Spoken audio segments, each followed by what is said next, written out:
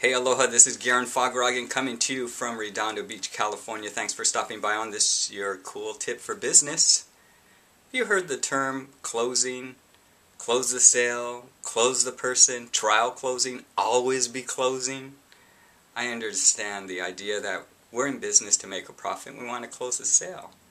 It's an activity that we perform. What I'm speaking about here is a state of being. Instead of always be closing, this tight constriction, how about always be opening, expanding, opening our hearts to serve others? How can we best help them, guide them to solutions to their problems? The great Brendon Burchard has a great quote. He says, Some will, some won't, still serve. Isn't that beautiful?